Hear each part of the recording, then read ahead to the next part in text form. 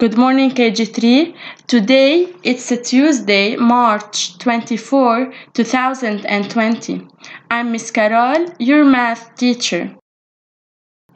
Our objective for today is to identify a new shape. It is called cube. Please, KG3, bring your book all about shapes. Open page 38 and let's read together the story. At the museum. I'm at the museum with my grandpa. We're looking at an exhibit about shapes. Grandpa says this is a cube.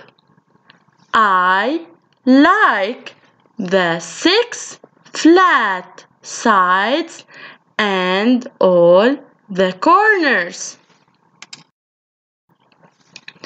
I have cubes at home like my blocks and my tissue box.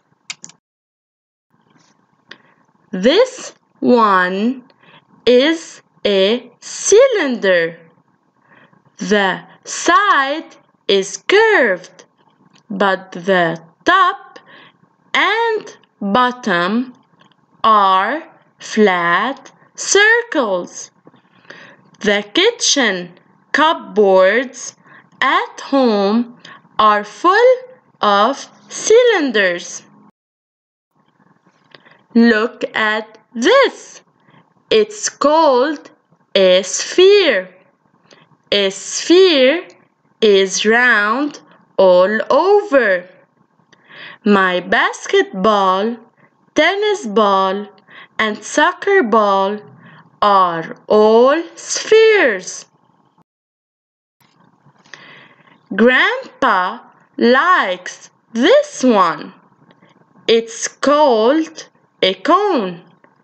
It has a point, a curved side, and a flat part. Thank you, Grandpa, for the frozen yogurt cone. Now KG3, let's learn together about a cube. Have a look. This is a cube. Let's count together the vertices of a cube. One, two, three, four, five, six, seven, eight.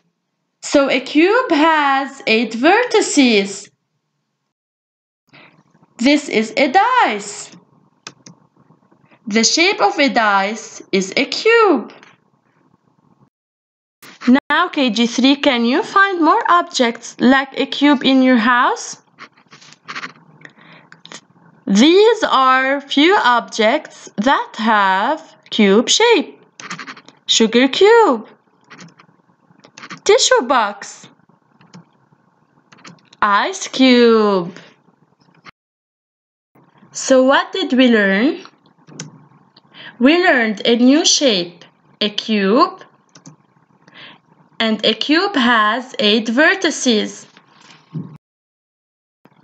Thank you KG3. Wait for a new video tomorrow. See you soon.